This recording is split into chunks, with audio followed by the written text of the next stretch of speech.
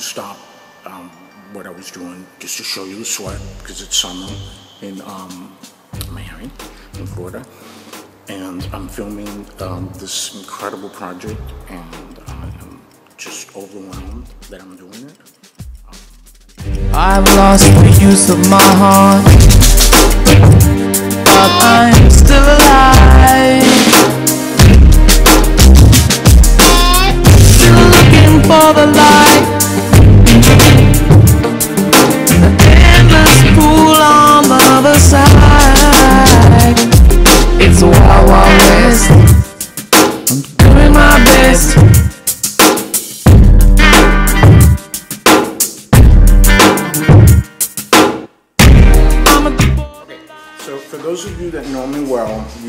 You know that um, my house is always in white, right? Everything's white. My glasses are white. My house is white, except for my car. I like black cars. Hmm, I wonder what that means. Anyways, um, so this exhibit that I'm having is going to be in the Fabulous Church, which the inside is not white. Ta-da! So that's probably the most challenging part of this exhibit is that I have to make sure that the paintings that I've been doing for a year and a half are going to look good in this color that I can't change because it's the Lord's house, right? So what I've decided to do as I'm taking you on this journey with me in this little video here is that I've decided to paint the inside of my house the color of the church. So over there in the corner, that black spot that you see over there, that's Ronald. He's my good friend. He's I, I love him. He's helping me. He's here today. Hallelujah. God is good. Anyway, so he's painting the house the color of the church, and that is the color of the church right over there. breathe, breathe, breathe. Okay, and the reason I say breathe, breathe, breathe is because not all colors are gonna look good in that color. Right? And I've been painting for a year and a half, so I cannot change my paintings to fit a color, but I need to see how they're gonna look. Okay, I need to see how they're gonna look. So this is what the project for today is. This is the color that uh, Mr. Ronald is painting. Thank God for Mr. Ronald, I'm telling you. Say bye-bye, Ron. Say bye-bye.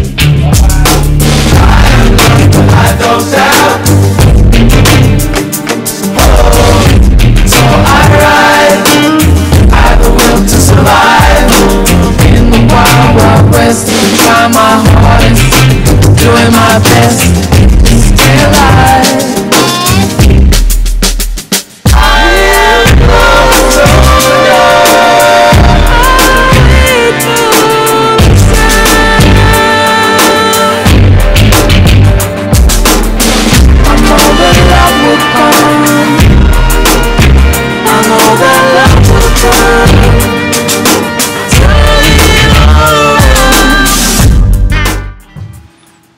my um my first exhibit ever um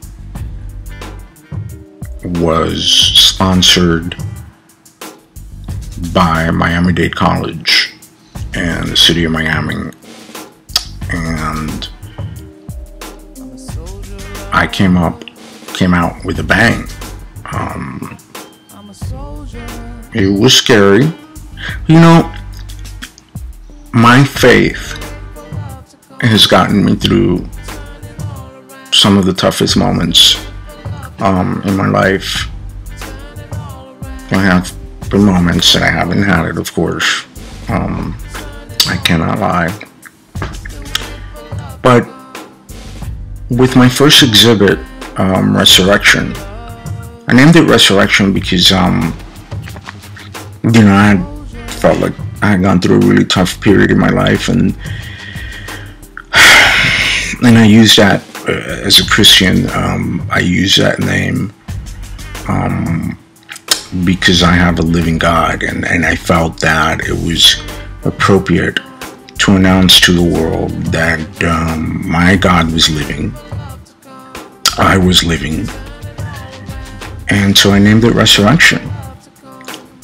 And my faith I worked hard on that exhibit. I worked for month and month, and days and days, and nights and days, and hours and hours, and minutes, and tick, tick, tick, and every single detailed was looked after.